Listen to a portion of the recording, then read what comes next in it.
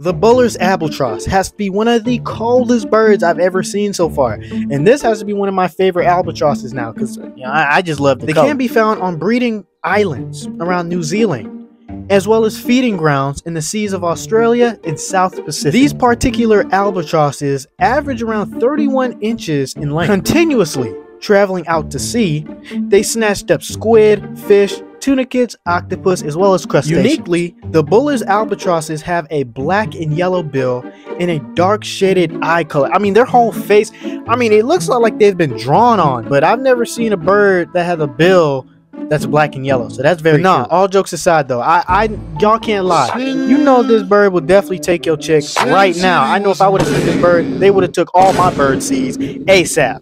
Come on now, don't even lie. I know y'all would have been going crazy. You know what I'm saying? Y'all know y'all would have been going crazy if y'all would have saw these birds. Tell me I'm lying.